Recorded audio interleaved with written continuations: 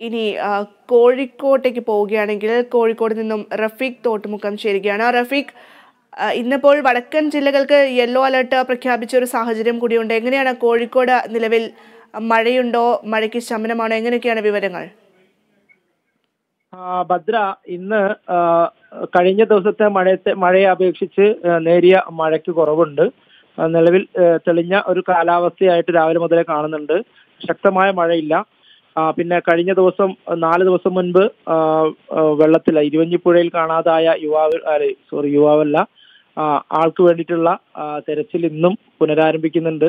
ഇന്ന് മഴ വെള്ളം കുറവായതിനാലും കാലാവസ്ഥ ഒരു നേരിയ തോതിൽ അനുകൂല കാലാവസ്ഥ ആയതിനാലും ആ തെരച്ചിലിന് കുറച്ചുകൂടെ സുഗമമാവുമെന്നാണ് നമുക്ക് മനസ്സിലാവുന്നത്.